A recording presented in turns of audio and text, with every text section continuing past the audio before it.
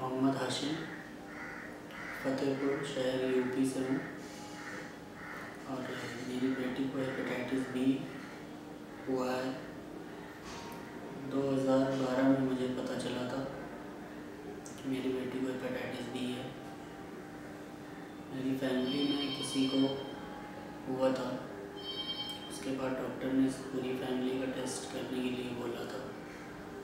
तो मैंने पूरी फैमिली का टेस्ट करवाया। जिसमें सारे लोग नेगेटिव आए। और मेरी बड़ी बेटी करीशा, जो इस वक्त बारह साल, दस साल की है, उसको पॉजिटिव आया। तो 2012 में मैं अपनी बेटी को लेके मेदांता हॉस्पिटल दिल्ली, गुड़गांव में गया। डॉक्टर नीलम मोहन से कंसल्ट किया। उन्होंने मुझे इंटरफेरॉन इंजेक्शन सजेस्ट किया। तो इंटरफेरॉन इंजेक्शन 2013 मार्च में शुरू हुए और पूरे एक साल तक इंजेक्शन उसको लगे। वायरल लोड उसका पहले सत्रह करोड़ था। इंजेक्शन एक साल लगने के बाद वायरल लोड घटकर डेढ़ करोड़ पर आ गया। लेकिन पूरी तरह से डिटेक्ट नहीं हुआ।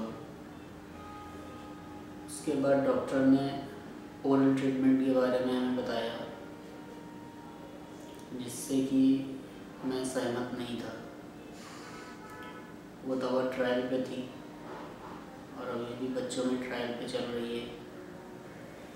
तो मैंने उसके साइड इफ़ेक्ट्स को देखते हुए मुनासिब नहीं समझा, क्योंकि इंजेक्शन जब बच्ची को लग रहे थे इंटरफेरॉन तो उसको बहुत सारे साइड इफ़ेक्ट्स हुए थे। उसका ब्लड काउंट बहुत कम हो गया था हीमोग्लोबिन बहुत ही कम हो गया था। रैशेज आने लगे थे पूरे शरीर में। उसमें, उसके सर में रोज़ दर्द होता था और बहुत ही तेज़ दर्द होता था, जिससे उसकी पढ़ाई डिस्टर्ब हुई। इस तरह से उसका वज़न भी बहुत ज़्यादा कम हो गया, बहुत दुबली पतली हो गई। तो इंजेक्शन का कोर्स ख़त्म होने के बाद जब डॉक्टर ने बताया कि अब इनको ओरल ट्रीटमेंट मिले जाएँगे, जिसके लिए छः महीने का वक्त चाहिए। छः महीने खाली जाएँगे, उसके बाद फिर ओरल ट्रीटमेंट पे जाएँगे। छः महीने बाद जब मैंने उसका एच बी टेस्ट कराया तो वो वायरल लोड पहले था सत्रह करोड़, वो रीएक्टिवेट हो चुका था, फिर से सत्रह करोड़ पे आ गया था।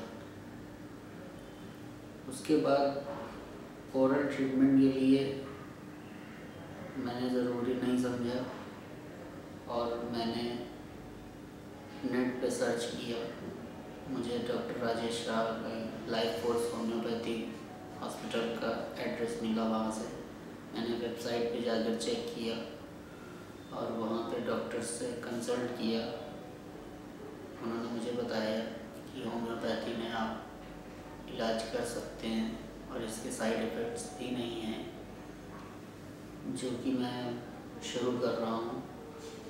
और मुझे भरोसा है कि मेरी बेटी अच्छी होगी, इंशाल्लाह।